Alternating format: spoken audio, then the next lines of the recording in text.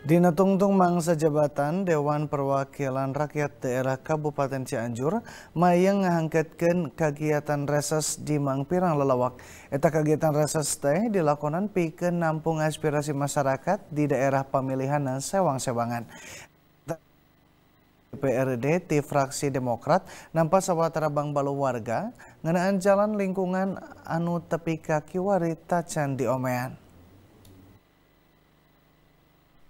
Dina Tungtung Mangsa Jabatanana, anggota DPRD Kabupaten Cianjur ti fraksi Partai Demokrat Hajah Lilis Boy, gasik ngalakonan kegiatan reses sidang kahiji tahun 2018 digenep lelewak di Kecamatan Cianjur Kota, salah saijina di perumahan Bumi Mas, Desa Rancagoong, Kecamatan Cianjur Kota, Kabupaten Cianjur, poe Salasa Paso sore. Reses mangrupa kegiatan penting fungsional di nampung aspirasi masyarakat, kawas nalika masyarakat ngebrehkeun usulan ngenaan pasualan jalan lingkungan anu tacan wae di omean. Warga ngarahuh balukar jalan lingkungan di Sabuderen perumahan Bumi Mas anu raruksak, turta tawaleh ka keum Cilencang, tepika ngabalukarkeun jalan becek turta laleur nalika hujan ngecrek di eta lelewak di dikeluhkan masyarakat uh, cuma jalan jelek. Jalan jelek ya. ya.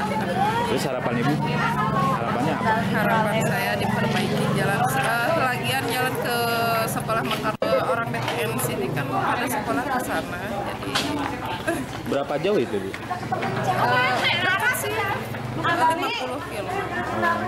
Alhamdulillah silaturahim atau reses dari Ibu Hajah Lilis Boy udah silaturahim dengan warga PTN Bumi Mas ternyata eh, dengan adanya reses eh, di Bumi Mas banyak eh, PR buat eh, anggota dewan ternyata masih masih belum ada tersentuh dalam arti hal ini untuk di Bumi Mas. Saya selaku, selaku ketua RW udah saya sampaikan masalah infrastruktur terus eh, kegiatan-kegiatan di masyarakat Bumi Mas banyak yang uh, potensial dalam hal untuk usaha UKM. Makanya saya tadi sudah saya sampaikan mohon uh, disalurkan atau dana aspirasi untuk perumahan Bumi Mas.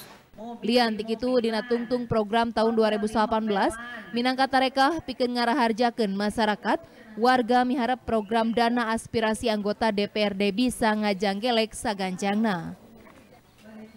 Sajeroning itu anggota DPRD di fraksi Demokrat Hajah Lilis Boy kedal janji bakal ngarealisasikan aspirasi masyarakat Kalawan Hahambalan.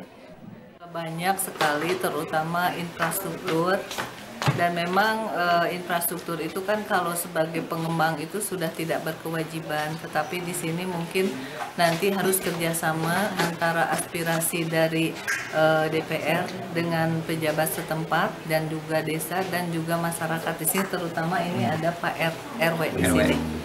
Juga keluhan mengenai dinia terus mengenai posyandu yang memang tidak ada belum belum tersalur dananya. Terus Karang Taruna yang memang uh, mereka ini tidak begitu banyak kegiatan.